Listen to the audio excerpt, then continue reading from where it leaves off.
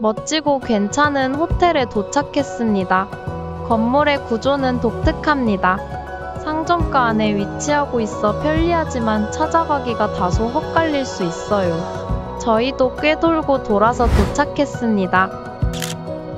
로비는 2층에서 전용 엘리베이터를 사용해 직행으로 14층까지 향해 체크인을 합니다.